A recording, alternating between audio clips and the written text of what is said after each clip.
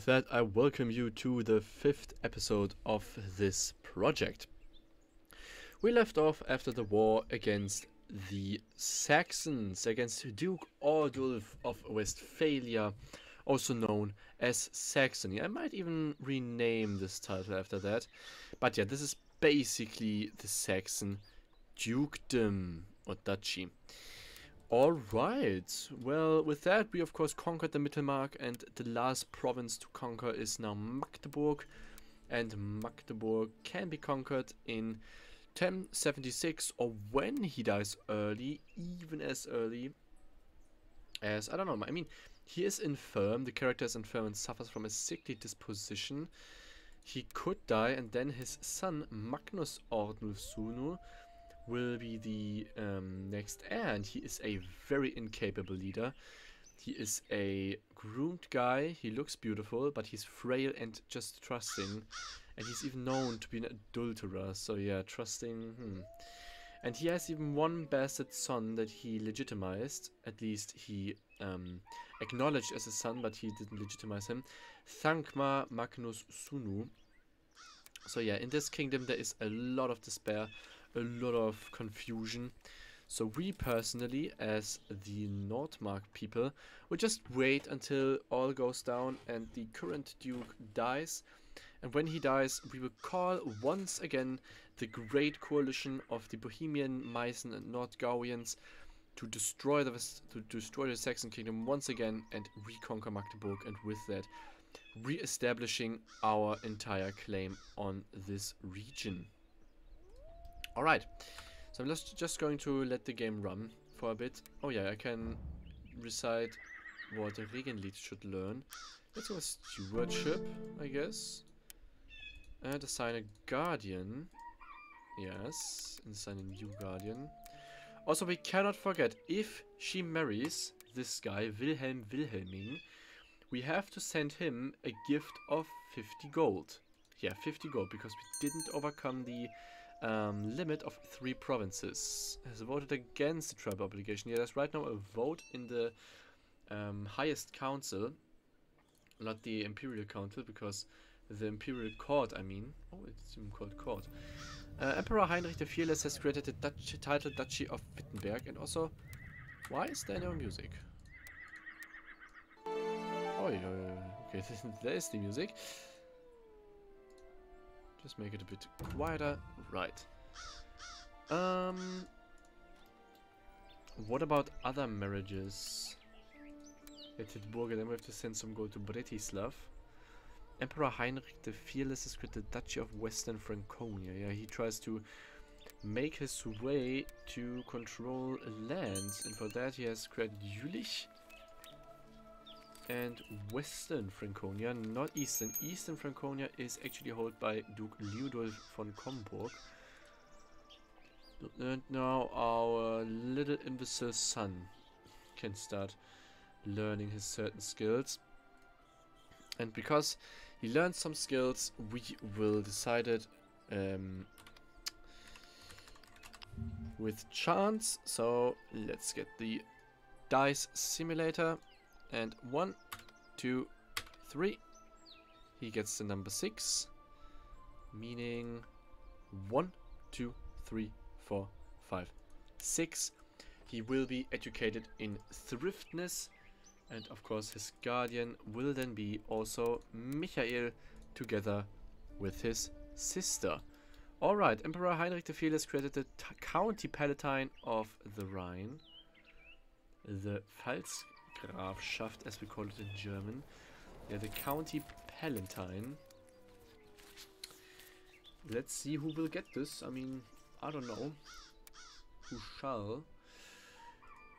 Ooh, it seems like it will go to Beatrix. Oh, hopefully he gets some children. And now he also created the Duchy of Austria. Interesting, interesting. Will he give it to the of Babenberger?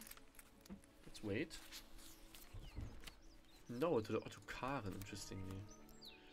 Ah, so we have a different dynasty as the Austrians, a different first dynasty, instead of the von Babenberg. They're now the Ottokaren who rule Austria.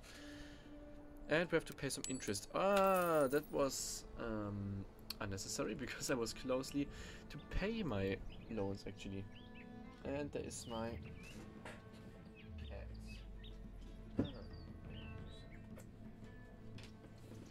Alright.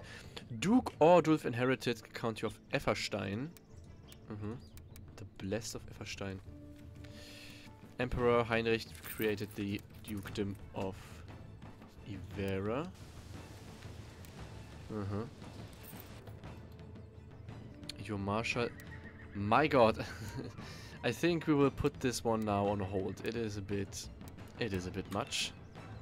Your Marshal Lima has inherited a... Uh, has initiated a massive recruitment drive in Altmark. Boop, let's destroy all of them.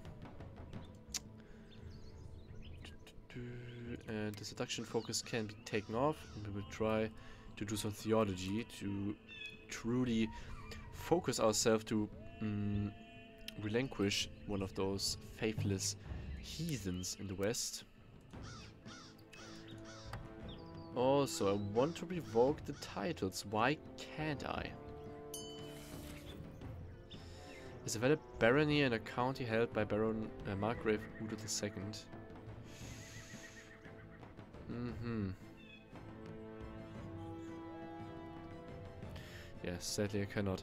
An invitation! My lord, we received an invitation to visit the great monastery at Cluny.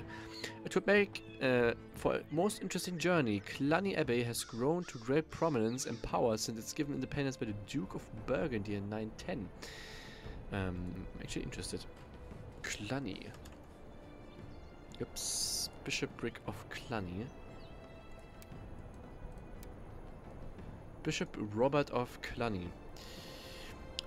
Sub subject now only to the Pope and supported by extensive lands as well as great, generous donations, it's a great center of wealth and learning. The Abbey's church is the largest in Europe, not even the greatest cathedrals in Rome or Constantinople can match. Of course, this is a wonderful opportunity. A completely wonderful opportunity. The Cluny Abbey. So this is the famous Cluny Abbey. The great church towers majestically over La? The great church towers majestically over an extensive complex of buildings. The surrounding farmlands are rich and fertile, with peasants toiling to bring the fruits to the land of the coffers of the monastery. You can see many monks moving about and also spot a nun or two. You can see the atmosphere of learning, piety and power. This is a place that enjoys the direct support of kings and nobles, not to mention the Pope. Mm, now, I don't want to decide that. Let the dice decide that. One, oh, one, two, three. Number two, that means I may study the magnificent architecture here. Sadly, that, that didn't give us any points. Now, how is does it look with you? Hmm. We won against Dok Landulf, the Just of Capua. And he's now an imperial subject. Randolph is now known as the Cruel. We have a lot of messages. This is a bit annoying when you play the Holy Roman Empire.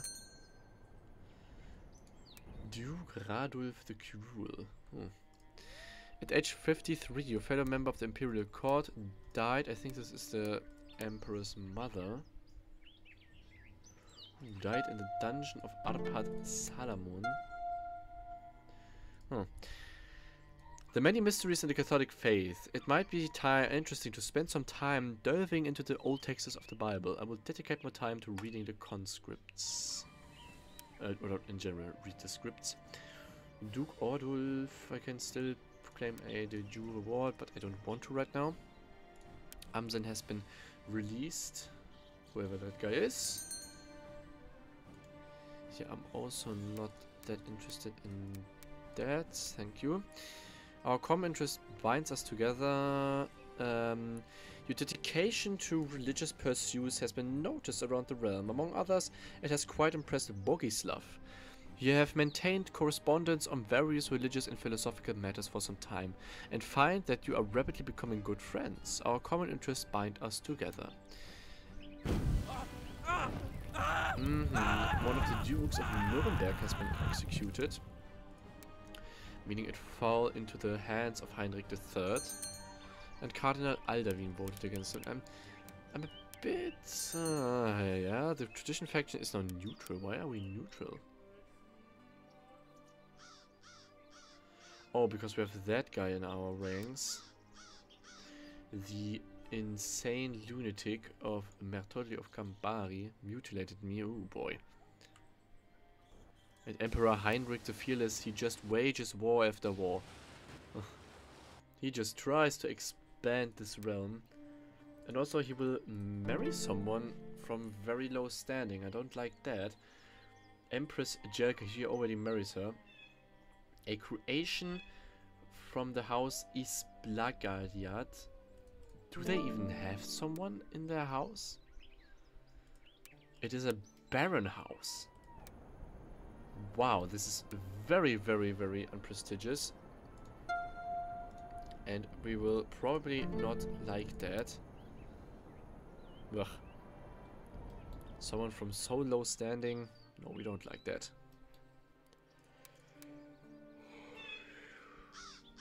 And he usurped the Ted Grand City title from Amalfi. Uh -huh.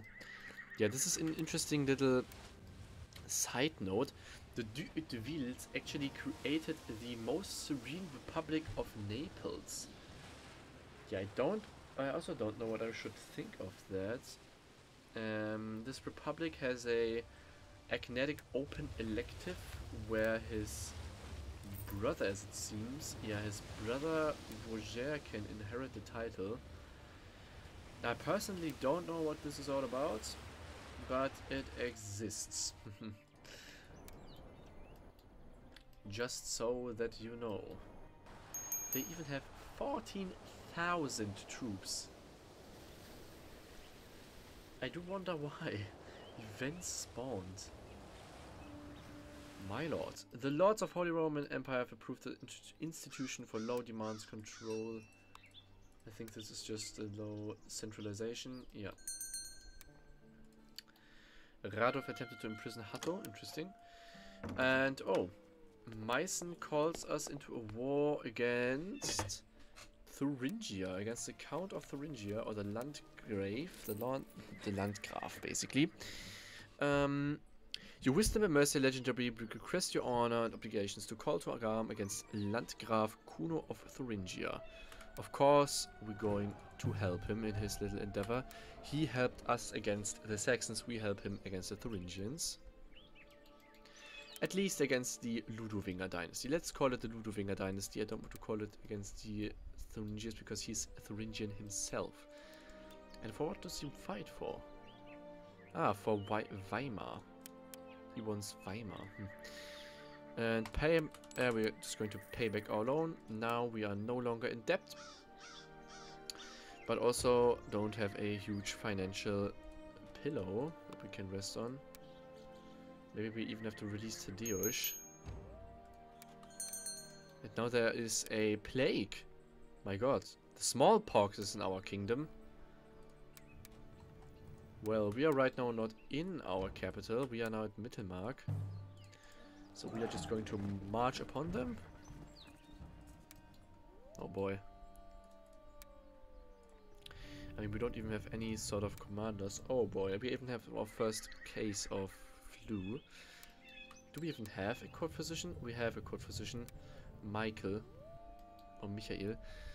Yeah, let's close the gates before, before something bad happens. Yeah, and we're going to seal ourselves into our own small little room. And we don't have anyone who can command the troops. Every single one is right now in um, in custody. Whoops! That wasn't planned. No, I didn't want to do that. I'm sorry. Um, my liege's council is uh, discontent. Now, why is that?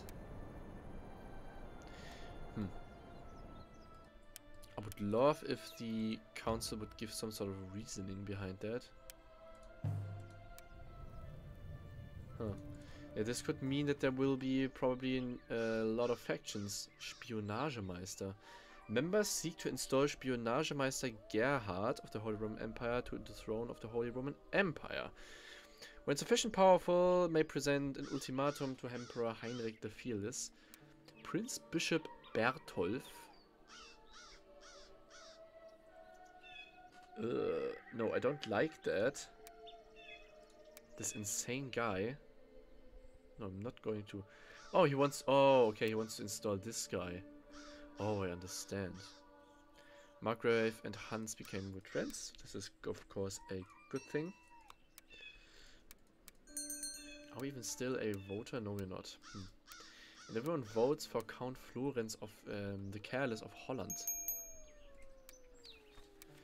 Interesting, interesting. We can make a new important decision, hold another uh, faction meeting, but we're not going to. As long as this smallpox um, plague is yeah, plaguing us. And we now conquered Weimar even further. The Amt of Erfurt is now ours, and the last one is the bishopric of Mem Memleben. And Duke Ordulf died. And with him now Duke Magnus, someone a, is a weak claimant actually on the Kingdom of Norway, interestingly enough. Yeah, the weak Duke Magnus is now the new count. And after this war is done and after this plague has passed on, we are going to um, conquer Magdeburg. For a long while now, you have not felt the presence of the Lord in your thoughts. You are starting to wonder whether there's really any truth. The Bible, in the Bible, or perhaps it's been a book written by clever liars. Now, we of course will not say it must be so, the Lord has said, these blasphemous feelings will soon be past. Oh, and we get the trade depressed. Oh, and we have to send our first, oh god, our first um, dowry, but we don't have the money for that. I will be so consequent enough to say we have to loan us money. We cannot because we went on seclusion. Yeah, this has to wait. The marriage has to wait, sadly. We cannot let those two guys marry unless we can send a dowry. I'm sorry. Oh boy, he will also send now in a very short time a message which you cannot just ignore. I think Wilhelm is now a bit... Yeah, he is already there. we cannot already say yes to that. No, we cannot give it our blessings, this marriage. Alright, and now we have to destroy them. We have to send a dowry, otherwise... Otherwise the marriage will be not rightful against my house, uh, for my house rules. Yeah, let's just wait a bit. 15, 22, 20, 10, whoop, and your steward wants to talk about the old tunnels under the castle. The argument is that they should be maintained better now that times are rough. You never know when you will get out and quickly. A splendid idea, actually. I do like this idea. My liege, my, uh, Michael catches up with you as you are strolling down the main hall. He looks concerned, and you order him to spit it out. Whatever the news is. The tunnels, my lord. He breathes and continues to tell but it seems somebody has been using them. The guards are stumbling upon tools and torches recently used by the looks of it. It's a great opportunity for an ambush. We have to of course look into that. Aha, the good old Radegund the Recluse comes in. Your guards have captured someone in the tunnels. However, the person does not seem to be completely stable. Your guards' faces are not showing the usual bloodthirst when they present Radegund this recluse, a starved looking and oddly jumpy person. Now, we are arbitrary, but we are also... Hmm. We're not cruel. Let's hear what she has to tell. You approach the locked door warily. Inside, Radegund is talking quietly to herself. The guards tell you that she claims to have a lover at court. They were on the way back into the castle when her beloved fell ill. Devastated from the loss, she remained in the tunnels. She doesn't seem to be all there, my lord. Oh well. Well, we are a bit lustful, so I will say she can join. You know, with some background thoughts. And just as I said, just as I thought. You are absent-mindedly flipping through a book after another long day where there is light tap on your door. Before you can get up, the op doors open and Radegund enters. She slightly crosses the room, slowly unbuttoning her nightdress. Her intentions are plain as day in her smoldering eyes. Oh well. Oh, Radegund, I thought you would never come. Of course we did it like that. A little affair in the mists. Um, while this is happening, we are destroying the army of the Thuringians of the Landgraviate. Landgraviate, whatever you call it. And we won the war. We cannot disband our army.